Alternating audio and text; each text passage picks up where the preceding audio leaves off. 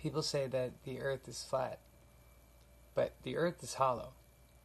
And the earth probably isn't actually the earth as we know it. I believe that the earth may be a planet that was once known as Tiamat, or Tiamat. Tiamat. Um, Tiamat was a water world.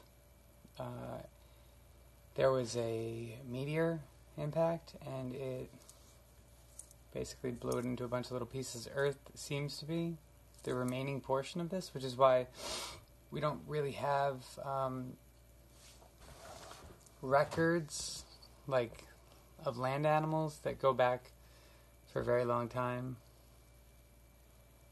Um, or human species seem to be fairly new.